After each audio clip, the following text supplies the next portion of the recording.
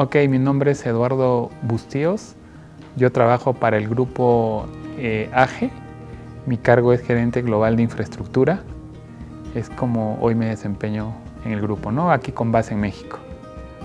Bueno, eh, el grupo AGE es un conglomerado de empresas que se dedica a la manufactura de bebidas em, de tipo gaseosas, aguas y también isotónicos ¿no? y, jugos. Estamos en 25 países, incluido México, estamos en Asia, África y gran parte de Latinoamérica. ¿no? Eh, la solución de Manage Engine llegó hace aproximadamente 8 años en la operación de México, donde tuvimos la idea de de poder automatizar nuestros procesos de servicios, de gestión de servicios. Eh, fue una buena experiencia, de manera que en los siguientes años esta se hizo un estándar para todo el grupo y, hace apenas dos años logramos expandir la solución a los 25 países donde hoy en día estamos operando. A su vez, este, incrementamos soluciones como AD Manager, AD Audit, AD Self Service y recientemente este año eh, en Point Central. Es como lo que hoy estamos utilizando. Uy, era, era un caos, era, era, realmente muy difícil, era a través de correo electrónico.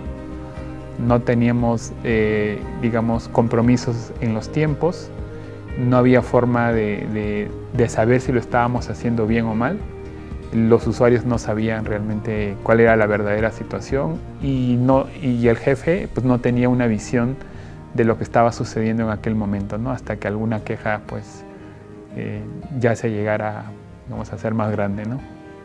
Sí, desde luego, ¿no? ya los usuarios hoy en día pueden saber cuál es la situación, ya saben el, el tiempo de compromiso ¿no? y evitamos de alguna manera, también usamos la base de datos de conocimiento del mismo y hemos logrado eh, reducir el número de, el número de solicitudes ¿no? en base a algunas estrategias de automatización y al análisis de la información que luego extraemos de la aplicación. ¿no? Entonces nos ayuda a tomar mejores decisiones.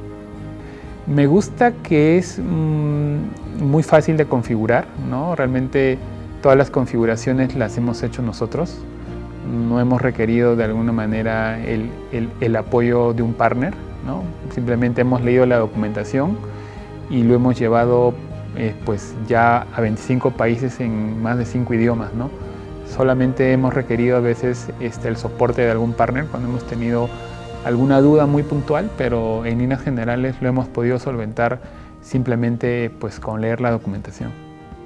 Sí, definitivamente yo creo que si quieren tener una gestión eficaz, este, optimizar el tiempo y y realmente pues no andar sin brújula. Eh, creo que sí es súper importante el tener este, herramientas como Service Desk Plus. ¿no?